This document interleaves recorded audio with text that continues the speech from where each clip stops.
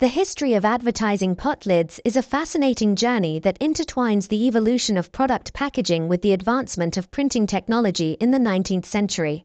A significant turning point occurred when Felix Edward Pratt, a visionary entrepreneur, recognized the commercial potential of utilizing new transfer printing methods to decorate the lids of containers. Pratt realized that by adorning these everyday items with sophisticated designs, he could create a powerful marketing tool for popular products such as bear's grease, gentleman's relish, potted shrimps, and various cosmetics. His insight led to the widespread adoption of decorated pot lids, transforming them from mere functional objects into vibrant pieces of advertising art. These advertising pot lids became especially popular in English speaking countries, where they were used to sell a wide array of commodities. Items such as toothpaste, cold cream, food pastes, hair preparations, and ointments were all packaged in these distinctive ceramic containers. The designs were not only eye-catching but also provided detailed information about the products and the manufacturers, making them an essential part of brand identity in a time before mass media. The transfer printed images often included intricate illustrations, brand names, and even the addresses of the retailers, making each lid a unique and informative piece of history. Collectors today are particularly drawn to these pot lids for their artistic merit and historical significance.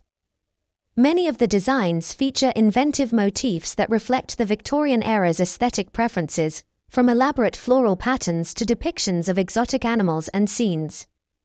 The level of detail and craftsmanship involved in creating these lids is remarkable, considering they were mass produced items meant for everyday use.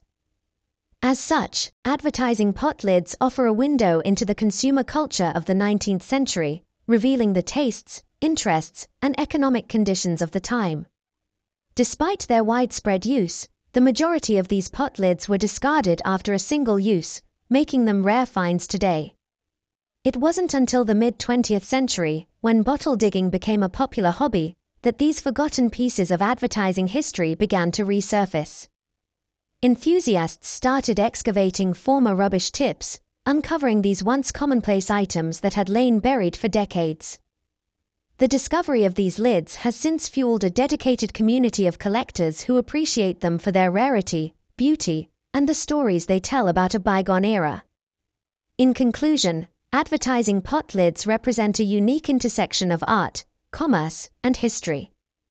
Felix Edward Pratt's early recognition of the potential for decorated lids revolutionized product marketing in the 19th century, leaving a legacy that is still appreciated by collectors and historians alike.